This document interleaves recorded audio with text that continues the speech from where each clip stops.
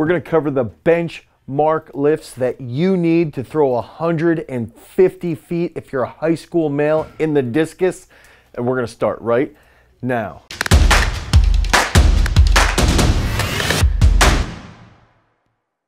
What's up everybody, it's Dane Miller from throwsuniversity.com and if this is your first time to the channel and you're interested in being more explosive, you're interested in improving your throws technique, you're interested in improving your throws based training, make sure that you like, subscribe, and you ring that notification bell so we can help you toss some bombs. So we get asked all the time at Throws University, hey, what do I need to bench press to throw this far? What do I need to back squat to throw this far. And we need to take that step back, right? We need to take a step back and first just analyze. If we're talking about the discus specifically, we need to know what is actually needed to throw the discus far. We know we have to be very mobile in our upper back. We want to catch that discus nice and deep so that when we get that non-dominant leg grounded at the front of the circle, we have a long, big pull. We feel nice tension across our abs. We have that mobility in our upper back to lead to a stronger finish. We know that we have to be strong. We have to have absolute strength so that we can handle a ton of force when we're at the front of the circle. We also know that we're in unilateral positions when we're grounding in the middle of the circle, so we need to have some serious unilateral strength.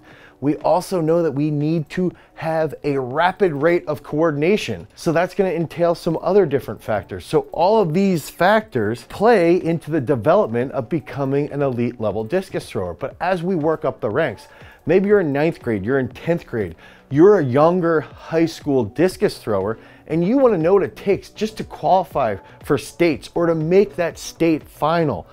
Now we know what those elements are, but what does that mean for actual weight room data? How can we get to that next level? Now we're going to dive deep into those numbers so that you have a nice blueprint of where you need to go to become a 150 foot discus thrower.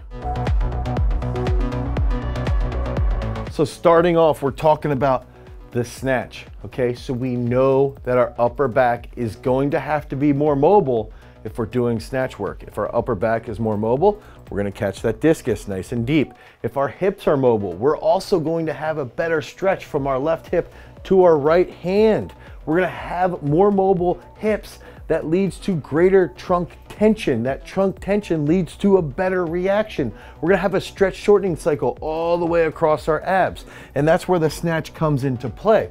So when we're talking about throwing the discus really, really far, we've got to know that you've got to incorporate the Olympic lifts in your training. You've got to utilize the snatch. That doesn't mean that you need to start off and just start hammering as heavy weights as possible. It means there's a technical aspect. And when you can switch your mind from being that meathead high school kid to being a little bit more technically minded and you can and you can build and improve your technique.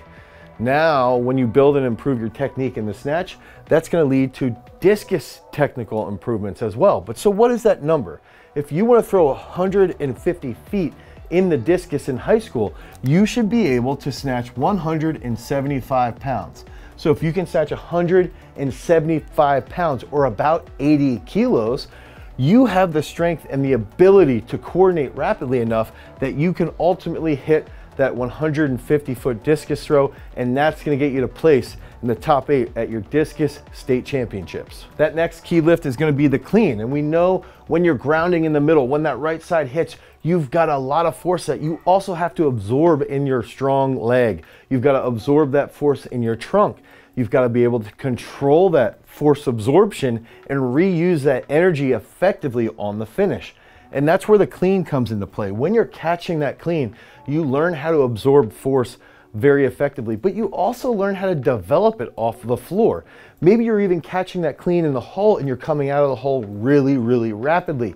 That's gonna help improve your hip mobility, your lower back mobility.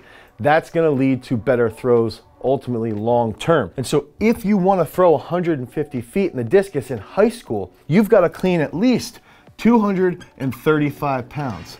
So 235 pounds or about 107 kilos. Those are the numbers that you need to put out and to strive towards if you wanna make that state championship final. Now let's get into some upper body work. We've got the bench press. A lot of coaches will say, oh, bench press is so overrated. But I've got a little story for you. When I trained under the world-class Olympic champion, Dr. Anatoly Bondarchuk, he followed a ton of 60 meter discus throwers. And these discus throwers, as they increased their bench press over 180 kilos, the more they got to 180 and then over 180 kilos, the likelihood of them throwing 60 meters or about 196 feet, the likelihood increased. There was actually a better transfer from the bench press to the discus based off of his research than there was from the bench press to the shot put. Okay, so the bench press correlates really, really well to the discus. We've got to think about even if you have a little bit more of a closer grip, now all of a sudden our humerus is getting nice and deep. And when our humerus is nice and deep, we're gonna have a really big stretch on our pec. Now if we can think about that inside the circle, now we take that humerus and we just extend our arm. That's where the discus needs to be when we're grounding at the front of the circle. So we need to have the ability to handle that big stretch across our pecs. Now with the bench press, if you wanna throw 150 feet, you've gotta bench press 275 pounds. That's a pretty reasonable bench press. It's nothing crazy, but it's very, very reasonable. It's also still a pretty solid bench. It's about 125 kilos. If your bench isn't there yet, I recommend five sets of 10 to 15 push-ups every single night until, until you're hitting that 275 pound level. And when you hit that 275 pounds, now all of a sudden, your likelihood of throwing 150 feet is gonna be that much higher.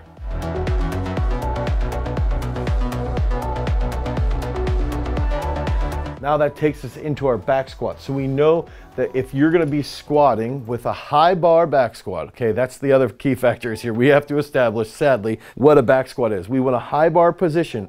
We want our trunk to be more upright. We want to have full range of motion. We want our glutes and our hamstrings draped over our gastroc, okay? We want that hip mobility. We want that lower back mobility. We want that posture. Okay, think about the posture of the back squat. Now think about grounding in the middle with that right leg in the middle and being a little bit more upright. Now we can have that left side rotate around the, the right side. That's where the back squat comes into play. Okay, so on top of that, the back squat also helps us hold that finish position at the front. It helps us rotate into our transfer leg. So when we're hitting better positions at the front and we have more absolute strength, we can hold higher levels of energy. Another key factor with the back squat, the snatch, the clean, they will dramatically improve because of our strength in the back squat. So if we improve the back squat, we will see an improvement in the snatch and the clean. And when we see an improvement in the snatch and the clean, we're also going to start to see a really big improvement in our throws. So the back squat is almost covering three different movements. And that's a really, really important factor. Now, what number do we need to hit? If we're hitting 300 plus pounds, or about 137 kilos, if we're hitting those weights in the back squat, we should be capable of throwing 150 feet. That's gonna get us to that state final. That's potentially gonna get us our first state medal, and we're gonna feel a lot better about that work that we put in in the off season.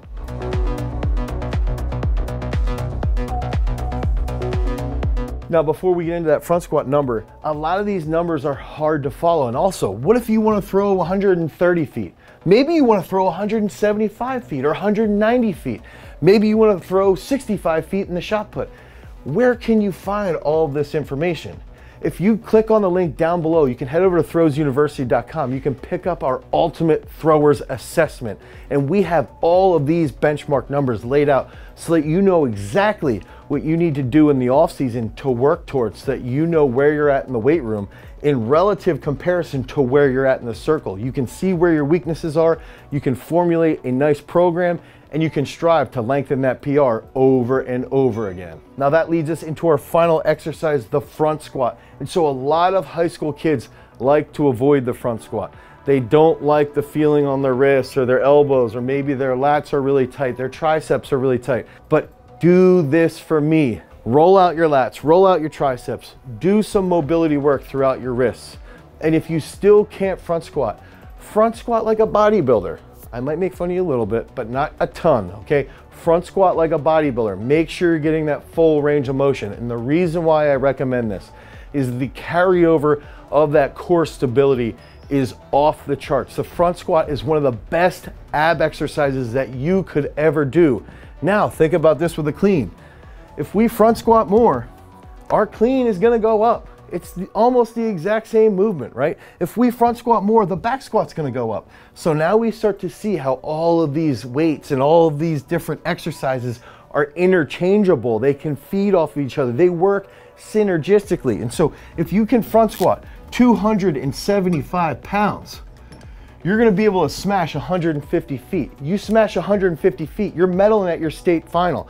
Now all of a sudden you're medaling at that state final and you're starting to get interest from coaches. You're getting interest from college level coaches. They wanna see if you can throw 170 feet. They wanna see if you can throw 180 feet. And now all you've gotta do is get back to that board and sit there, lay out those goals, lay out that program and start working your butt off that off season. If you want help with your strength training program and you want even more information about these benchmark lifts, head over to throwsuniversity.com. You can pick up a strength training based program or your copy of the Ultimate Throwers Assessment. That's going to help you become a better thrower long term. If you want more videos about discus based training and weight room based training, you can click on this card right here. Until next time, guys, peace.